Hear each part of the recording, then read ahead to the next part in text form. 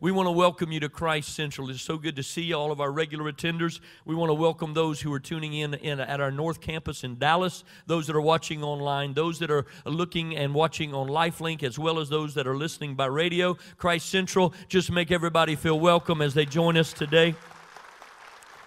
Hallelujah. Last week I talked about faith, and that's just been turning over in my spirit. Just this th- this message of faith and of stretching us. And uh, I know that uh, I know and realize that we can walk with God and that we can live in faith and that we can be saved and on our way to heaven. But there are different levels of faith, and that's why He talked about that He's taking us from uh, levels of faith to faith or from glory to glory. That we are on this journey.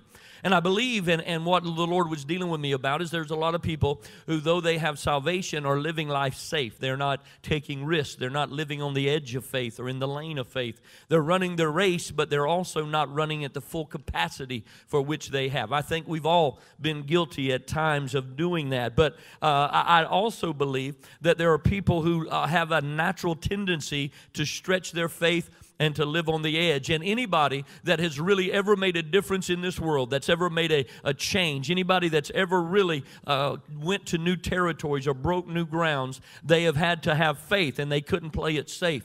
As I was reading this week, I, I was looking and reading some stories, and one of those stories is about a, a man that we're all familiar with. Uh, his name is Chuck Yeager. Chuck Yeager was a World War II hero, and uh, he had in his mind that he wanted to break the sound barrier, the speed barrier in a plane. And everybody who had tried it before him had came to the place at a certain place where the, the, the plane would literally shake violently and begin to disintegrate and come apart. As a matter of fact, uh, many of the pilots who had tried, the plane had literally came apart if they didn't back off on the throttle and it had disintegrated and many pilots had died. And, and so Chuck Yeager had uh, wanted to, to break the sound barrier. And so he had had it all planned for October of 1947. And so he is uh, preparing for it in just a few days or weeks before he is to make this a run. Uh, all of a sudden, he's on a, a, riding, riding a horse. He gets thrown. He breaks some ribs. Everybody tells him, You can't do it. It's too taxing. But yet, there was something on the inside of him that just drove him. And he said, I've got to do it. I know we can do it. I believe we can do it. And so he gets in the plane. He's in pain, but yet he pushes through it. And they drop him out, and he goes. And when he gets to about 700 miles an hour, he talks about how the plane literally begins to shake almost out of control. It begins to violently uh, uh, began to disintegrate, he continues instead of backing off, he runs the throttle up and he pushes through. And he says, after all of that, that chaos in that moment, all of a sudden, when he broke through, all of a sudden there was peace, tranquility, and a deep calm. Listen, there's sometimes the devil don't want you to break through certain certain levels of your faith walk, and he's going to cause turmoil and trouble, and the world will shake all around you. But that's not the time to back off of your relationship to God. That's to put the throttle down, to put the hammer down, and you just keep pushing, and you're going to break through into the peace and the tranquility of a living God. Hallelujah. As I was reading that, I couldn't help but be challenged by what he was saying because I really believe that God is wanting us to not play it safe, but to really walk in faith. He's been dealing with that, and as I was reading, there was a, a, a, verse that jumped out of the Bible. I, would never really noticed it before, and it piqued my curiosity. I began to look into the scripture, and I've got a, a short message for you today. Turn to somebody and say, I've heard that before but the names in the bible sometimes when the bible mentions a name there's very there's a lot of significance to it but if you don't have a lot of history or a lot of of the story uh, you don't really understand it and i've read about uh, this man before but it's only mentioned twice in scripture and it is out of the out of the book of judges and, and we're going to look in judges 5 and in judges chapter 3 but it was a, a, a judge of that day uh, was a biblical judge. He was a, a military ruler, but also a spiritual leader in, in Israel. And God used them to help lead the people before he had began to instill a king because the people later on decided they want a king. But before they had a king, and after they had come out of Egypt into the promised land, they had these men and women called judges. And uh, after the conquest of Canaan, it was around 1150 and all of that, that, that, that Saul and, and the kingdoms began. But before that, they had these men and women called judges. The government of uh, Israel was formed by tribes. They had no centralized government to speak of. It was a confederation of these different tribes. And in times of crisis or in times of attack, many times God would raise up a leader from among them. And uh, not only would these people be judges, they would be military leaders. And the book of Judges mentions many of the judges, and some of them you're familiar with, some of them you're not. Uh, there was one called Othniel and Ehud and Shamgar and Deborah and Gideon and Tola and Jair, uh, Elon, Abaddon, even Samson. These were men and women that God had raised up as judges in Israel. Even in the first book of Samuel, Eli and Samuel were considered judges, though one was a priest and one was a prophet. God used them uh, to help lead the nation of Israel. And I was reading, uh, and in the fifth chapter of Judges, there was a, a, a, a Deborah who was the uh, spiritual leader. She was a judge and she was a prophetess begins to sing after a victory that had been came. And then there's a song and in one of the verses of the song it makes reference to a condition that the people of Israel were living in and about uh, a couple of the people who had brought about deliverance or the change in the nation or the revolution that happened in Israel.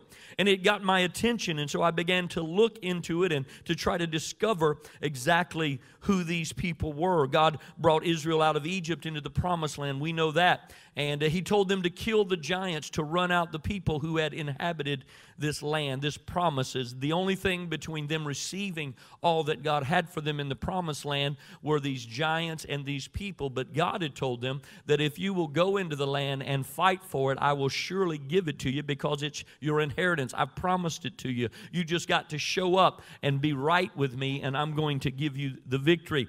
But they did. They went into the land, and we find that they fought and they won victories and they took some territories, but then they began to settle. They began to compromise. They began to uh, not run people out, but to make deals with people. I've shared a little bit about that with you in the past. But in this case, all of a sudden, over the years, those people that they had compromised with began to grow stronger. Even they began to, be such friends with the Israelites that their children began to intermarry with those who were not in covenant with God.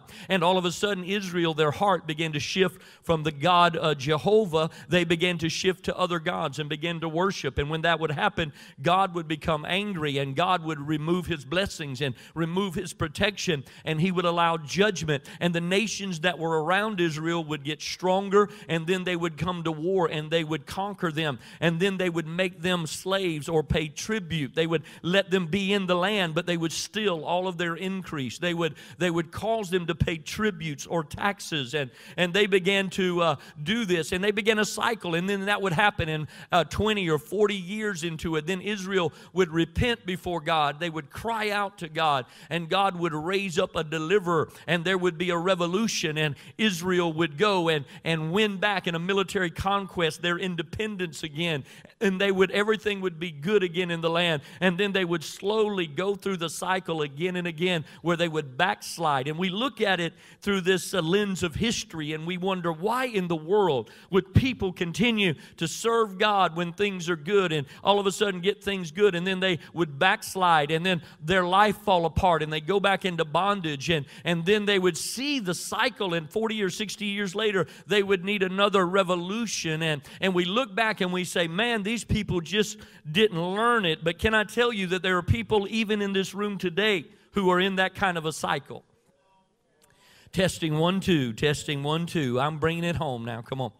The reality is that we have a tendency in our human nature that in crisis we turn to God because we realize our limitations. We realize that we don't have the power to save ourselves. We don't have the power to meet the needs in our body or in our physical need or even in our emotional need or our, our family's needs. There are times of crisis where we turn to God because we know He loves us and He has the power to help. And then as He delivers us and He brings us and He restores us and those things, if we're not careful, we began to slip back away and not be as passionate in our prayer life and not as passionate in our worship. Let me tell you something. If you want a passionate prayer life, you just need to get in a crisis. Come on, can I get a witness from somebody? Because that causes us to realize our limitations and about how big God is. But the reality is, He never called us to be in one day and out one day. He's called us to be faithful every day. Can I get a witness in this house today? Hallelujah. Because God loves us and wants us to live this abundant life, this purpose filled life, a life of love, a life of significance, not a life of fear, not a life of worry, not a life of powerlessness, but He wants us to live a life of power and purpose. And in this verse I was reading, and I've only got a couple of verses, but in Judges, the fifth chapter, Deborah's singing this song of victory and is making reference to the people of God who lived in such fear. She was talking about that before this revolution, before this war, there was such fear and trepidation in the people that they were not walking in the places that God had gave them. And they chose instead to live safe lives, lives of, of safety, instead of living lives of faith.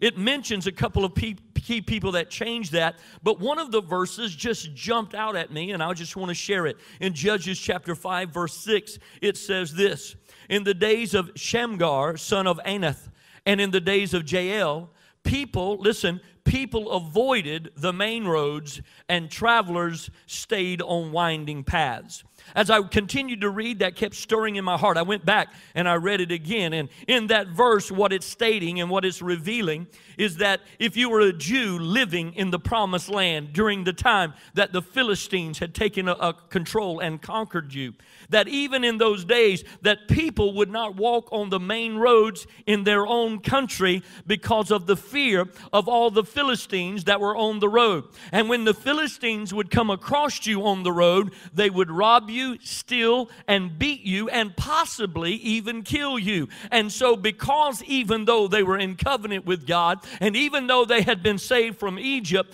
they were living in a promised land, but not walking in any of the promises. I don't know who I'm talking to today, but they were living in a land that God had given them, and they were still in covenant with God, but because they weren't walking in faith, they were winding on the back roads and in the pathways, and they would not get on the main roads. You could not take the quickest road, you could not take the fastest and easiest route. You were too fearful and too scared. The Philistines had terrorized the Jewish nation to the point that they didn't even walk on main roads, they snuck around in the back pathways and they couldn't really do business like they needed to. They, they couldn't live in freedom of traveling in their own nations because the enemy had caused them to live in such fear and intimidation to rob them and beat them. And I've just come to tell you that I, I minister to people all the time and I see believers and Christians who are, really have been redeemed and you're saved and you've been brought out of, of bondage and you're on your way to heaven. And yet, even in your new life and even in your redeemed life, you are living in fear and in bondage. You're living with sicknesses and diseases. You're living with depression you don't have to live with. You're living with no vision and no power. And I've just come to tell you, you don't have to live like that. You can get on the road of faith, for He came that you could have life and have it more abundantly. Give God a hand clap of praise. People avoided the main roads and they traveled these winding paths. In other words, the enemy had God's people so intimidated they could not walk in what God had given them. And they couldn't occupy the places that God, because fear drove them from their rightful place to the back alleys and to the winding paths, wasting valuable time and limiting what they could do and where they would go. While the Philistines, the enemy, walked in the places that they were supposed to occupy. As I thought about that, the Spirit of God began to move within me and share with me that this is still the enemy's strategy. He's not changed. He, he's still a bully. He's still an intimidator. He still wants to move against us and cause us not to receive and walk in the things that God has for us. He wants you to believe that just because you're saved, he first of all, he wants you to question your salvation, that whether you're really saved. And if you have got enough faith to understand that you are saved by grace and not by works. When you get to that place, then He wants you to say, Well, you may be saved, but God can't use you. There's no power in your life, there's no anointing in your life. You may get saved, but it's going to be barely and by the skin of your teeth. Has anyone ever heard that from the enemy in your life? You can't really do what Pastor Lonnie talks about. You can't really be a witness. You can't really lay hands on the sick. You can't really make a difference in the world. You're just going to have to hold on till Jesus comes. You're just going to have to sit down and be quiet in your nation. They don't want to hear uh, you talk about Jesus. They don't want, you're just going to have to go on the winding back roads. Don't you come out to the public forum and don't you stand up in public and be it. Don't you come out here. You just go on in the back rooms. But I've come to tell you, I'm standing on the main street and I'm declaring Jesus Christ is Lord. I'm declaring He's the hope of a nation. You see, you see the reality is that sometimes that the devil wants us off the path of God. When you and I get saved, Jesus is called the way the truth, and the life. In other words, there is a way that leads into righteousness and holiness and eternal life, and there is a way that will lead to death and destruction. And when we get saved, God sets us on the right way. Come on, amen? As a matter of fact, the psalmist writes in Psalm 139, he says, Search me, O God, know my heart, test me and know my anxious thoughts, and point out anything, in, anything in me that offends you, and lead me along the path of everlasting life. In Deuteronomy, it says, For I command you this day to love the Lord your God, to walk in his way. Somebody say, Walk in it and to keep his commands and, de- de- and decrees and laws, then you will live and increase. And the Lord your God will bless you in the land you are entering to possess. In Ephesians, he writes, For we are his workmanship, created in Christ Jesus for good works, which God pre- prepared beforehand that we should walk in them. And here's what I've got to tell you over and over in Scripture the Bible said that the steps of the righteous are ordered of the Lord. In other words, he's got a path for us to walk walk in a destiny, a place, and a purpose. And when you and I began to walk in it, all of a sudden, by faith, things began to happen. Our anointing grows, our maturity happens, the promises of God and the provisions of God are on the path that He is destined, and the devil knows it. So his job is to get you off the path that God prepared. Come on, somebody. And so you can be saved, but yet living in bondage because you're not walking in the ways of life. He has prepared a way, and fear is one of the tactics the enemy uses to cause you not to fulfill or walk into your purpose. Timothy, that's why Timothy, it says, For I've not given you a spirit of fear in other words, if you are scared, it is not of God. You can mark it in, in your head that that's not God. For I have not given you a spirit of fear, but of love and of power and of a sound mind. God wants warriors who are full of faith and not full of fear. Can I get a witness this morning? Come on, give him a hand clap of praise. The enemy wants to intimidate us to live these intimidated, fearful lives, worried about our safety and security, more about our destiny. Walking in destiny will cause you to come face to face with your enemy. God allows enemies on your path not to bring fear into our lives, but to build greater faith in our lives. David did not face Goliath because God wanted to intimidate him. God wanted to prove something to him and to all the people. If you will stand for for me, I will stand with you. Come on, something. And no weapon formed against you will prosper. The, the scripture identified two people Shamgar and Jael. Now, Jael, I knew, I had knew about her. It was she was a woman. She was the wife of a man named Heber who had killed a Philistine general. The general had uh, been on the battlefield and he had an army, a, a, fierce army of 900 iron chariots. And, and all of a sudden they had led this, the prophetess Deborah had got a word from God, shared it, and they had went down to the battlefield. He had came with his 900 chariots, this general. He had been defeated by Israel. He had jumped from his chariot and he had ran from the battlefield. He had ran uh, as he was uh, leaving and, and they had killed everyone else. And then they began to look for the general. The general ran down the roads and after he being weary and tired from the battle and from running he's running by on a road. And this lady jael uh, looks out and sees him running and she waves to him and he uh, and offers him to come into the tent to rest. She he comes into the tent. She, he says uh, are you got anything to drink? She gives him some milk some warm milk. And then then he's tired, and she says, You can lay down. And he lays down, and she puts a blanket over him. And he said, Listen, people are looking for me. So if anybody comes looking for me, I want you just to tell them nobody came and nobody's here. And, and so she walks out. He falls into a deep sleep, and she takes a spike, a, a, a, a spike that held down the tent, and a hammer. She sneaks back into the tent and gets over him and drives the spike through the general's temple and pins his brain to the ground. That's one reason, men.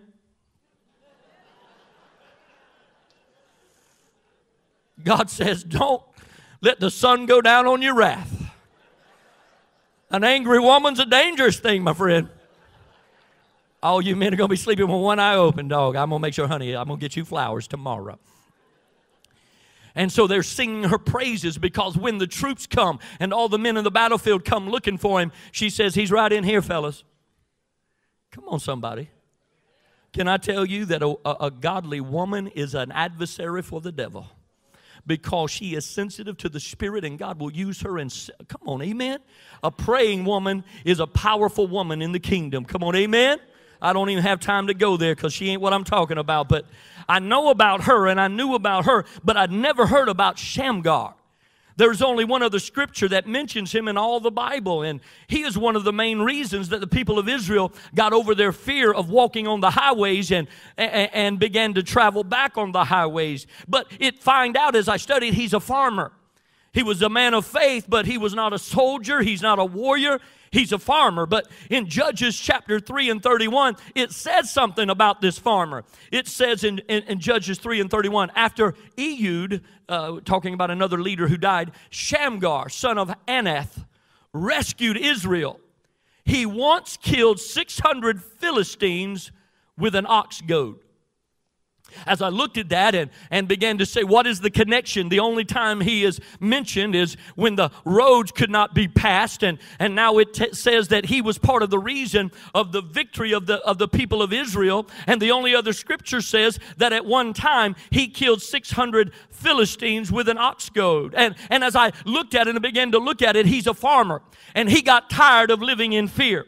He got tired of not being able to take his crops where they needed to go. He got tired of living below what God had told him. He got tired of his family after sneaking around and worried about his children getting killed or raped. And he got tired of the enemy trying to rob him of his stuff. And all of a sudden, one day, this gentleman made up his mind that I'm getting on the highway and I'm going to walk on the highway. And he took his oxen because an ox goad was about an eight foot long staff. And on that staff, on one end, it had a metal tip and on the other end it had a metal paddle. The tip was for when you were driving the oxen, you would goad them and you would poke them and you would steer them. But the paddle was when you got to the end of your row after you had plowed that you took the paddle and you would flip it around and you would clean the hoe or the plow off again and you would begin to. And so for years this farmer had handled this stick. He had cleaned the plow and he had goaded the thing. He didn't have a sword and he didn't have a he had been not to war college He had never been trained in the art. But what he knew was,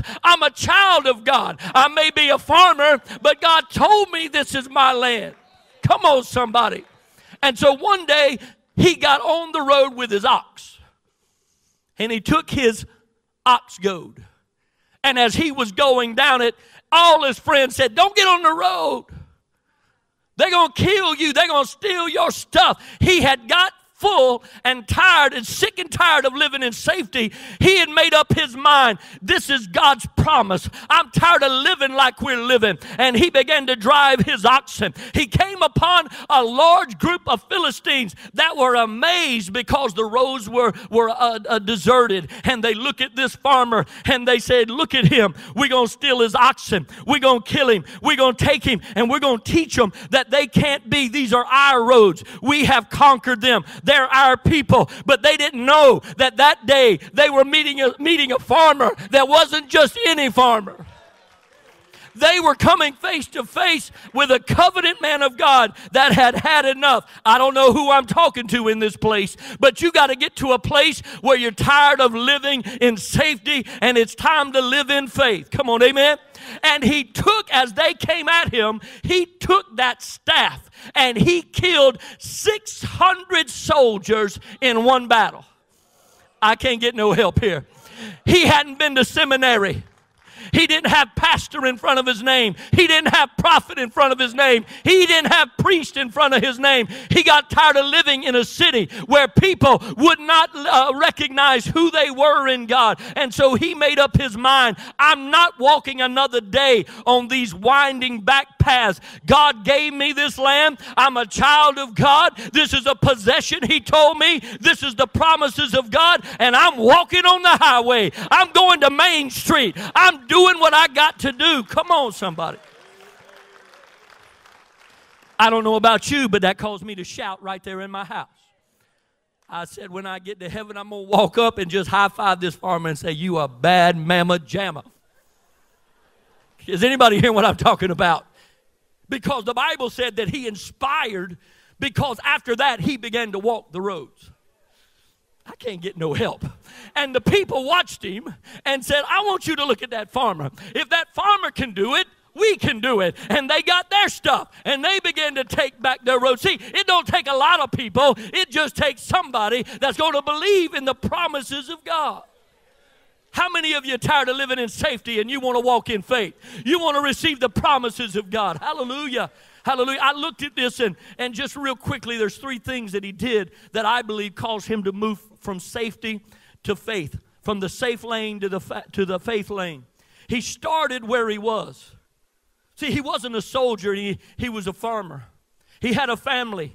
He didn't go away and, and, and do, he started right where he was. He walked out on the highway closest to his house and he began to walk by faith. He said, If it's going to change, if I'm going to have to clear the highways, I'm going to clear it right in front of my house. I want my wife to be able to go to the store without worry. I want my children to be able to go to school without worry. I'm tired of living as, a, as some kind of a, a hermit. We are going to take back what God's given us. As I was looking and listening that, I was reminded even about the founder of Domino's Pizza.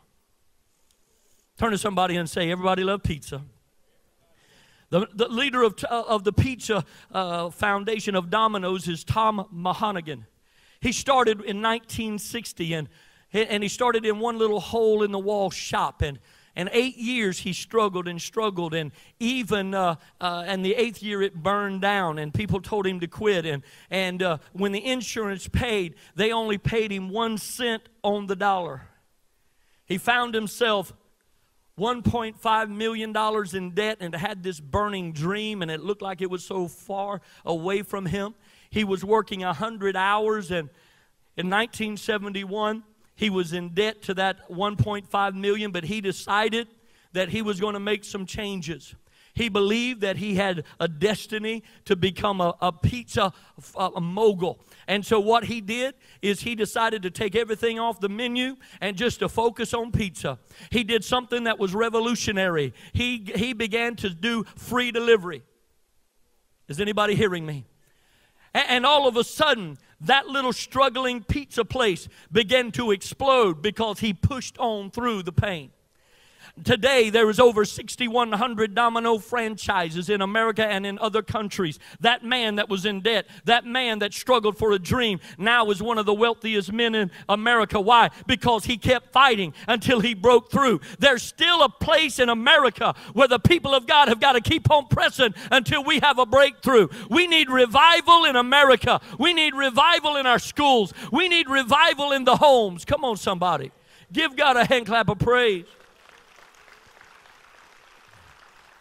We have to be prepared. This is the season and this is the time. That's why Second Timothy said, Preach the word. Be prepared in season and out of season. Correct, rebuke, and encourage. That means be prepared and ready to go no matter what happens because the season is going to change. If you're in a bad season, just hold on and keep walking. The season's going to change. If it's raining right now, just keep on. The sun's going to come out. If there's lack right now, you just keep walking because God's got provision on the pathway. You just Just keep walking by faith. If you're sick right now, trust me, there's healing on the pathway. Just stay on the promises of God. Hallelujah, hallelujah. The second thing he did, he not only started where he was, but he used what he had. He was a farmer, and he was very familiar with that tool, that ox goad. He didn't have swords and spears, he had not been trained in that, but he was good and skillful at handling what he had been given. And listen, there's a lot of people that think they got to have a certain set of skills and all of those things. And I believe in applying ourselves and learning and growing and maturing but you don't wait till you get everything till you start. You start right where you are and with what you got. Come on, somebody. See, you can get on that faith way today. Your faith can grow in you today. The day he took his ox goad and he went to the highway, he didn't do it with a lackadaisical attitude. He knew what he was going to be facing, but he went out with an intensity and an enthusiasm. He got fired up. Can anybody get fired up in here today? And he said, I'm going to walk in the place that God has prepared for me. The word enthusiasm comes from the word entheos, and it means in God or possessed by a God. And the reality, if you're a believer, you should be in God or God should be in you. Come on, somebody. When we walk by faith, we don't walk in our own ability, but we have partnered with the Spirit of God. That's why the Spirit comes in you when you get saved, because He knows that we need the Spirit to build our faith. Come on, somebody. And that's what the difference maker is. You're not going to live and walk in faith and, and access the promises of God because of your brilliance, because of your natural talent, or because of your personality. Can I get a witness?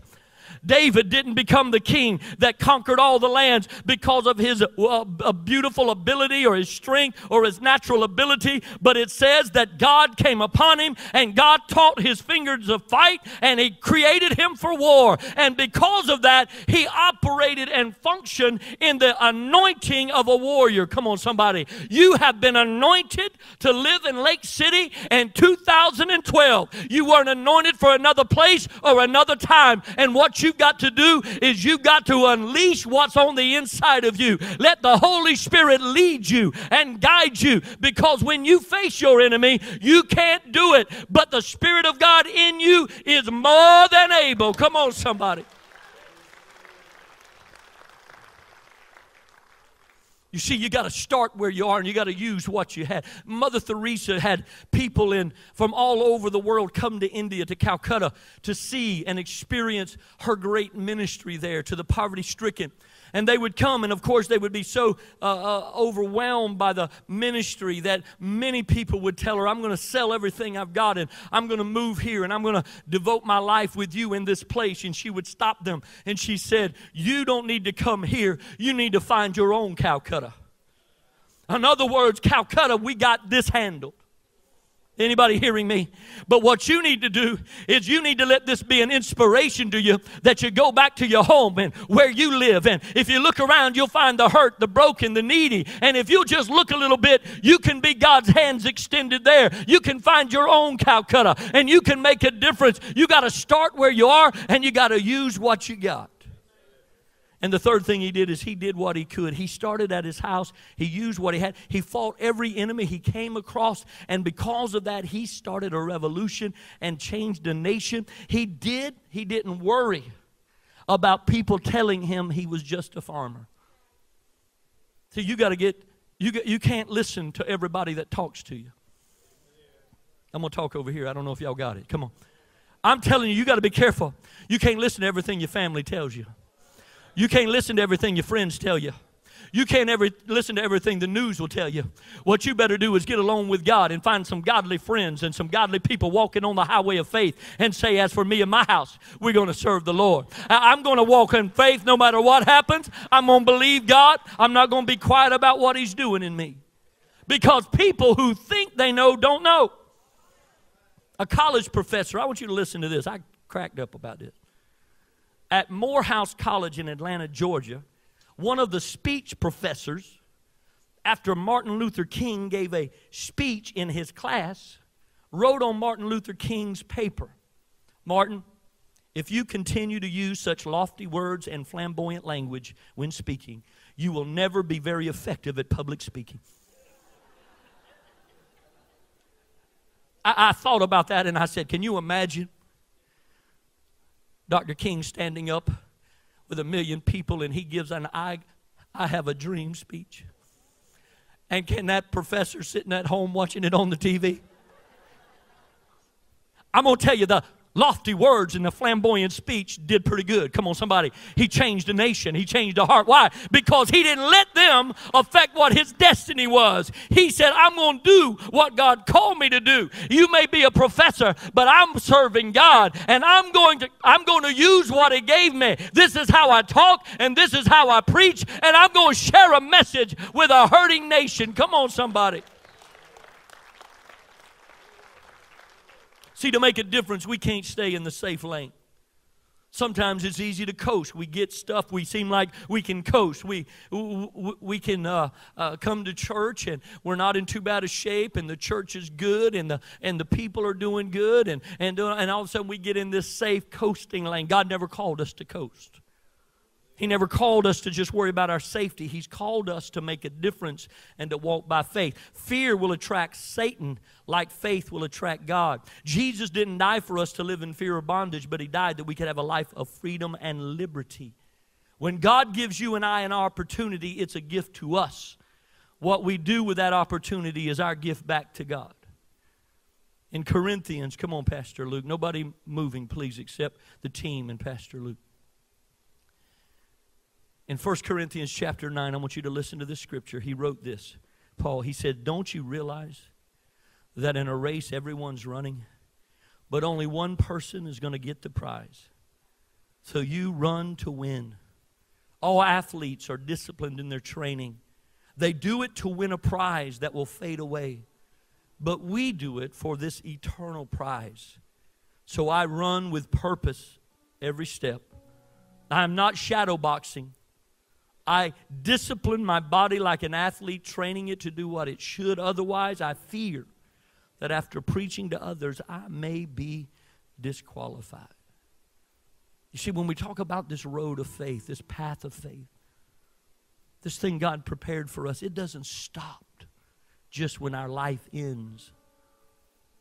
God has a way, a way that we are to live in this life and in the next.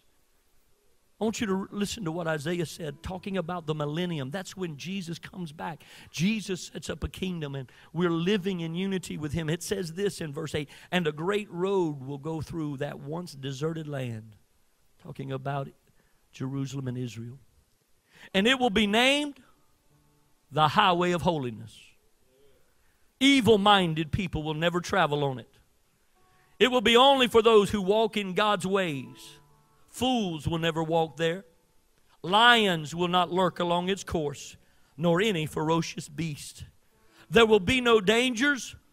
Only the redeemed will walk on it. And those who have been ransomed by the Lord will return.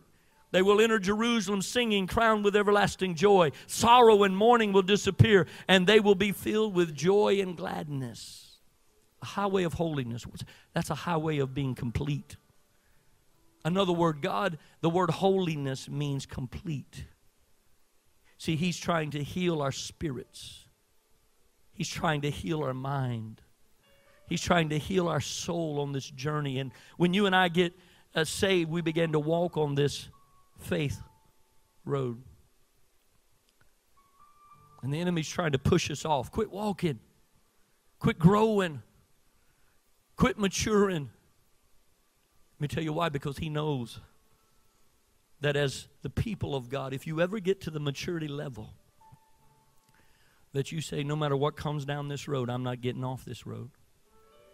I don't, I don't care what the enemy sends down this road. I don't care if cancer reports come. I don't, don't care if financial woes come. I don't care if relational problems come. I'm staying on the road. I'm going to walk this road because this is the highway of holiness. Because on this road, He's healing me. On this road, He's fixing me. On this road, He's restoring me. And see, if you just keep walking this road, one day you're going to step on this road of faith. You'll step from this life and not miss a beat. And you'll step from this life to the next and still be on the highway of holiness. And see, on that way, All of a sudden, we've been fighting our enemies in the natural, but when we step into the spirit, God has already removed all the spiritual battles on the other side. And so there's no more enemies there. There's no more wickedness there. There's no more ferocious beast that she's going to attack you there. You see, but on this side, he said, I'll never leave you, I'll never forsake you. The Bible said Samson was on the road and a lion came up. And the Spirit of God came upon him and he ripped him asunder. Let me tell you something. You're going to face some stuff on this road. But you've got to make a choice. I'm not getting into the safety of the bushes and the byways and the winding paths and end up at the end of my life and have never fulfilled my destiny because my destiny is not there. My destiny is on this road of faith. I'm going to run my race.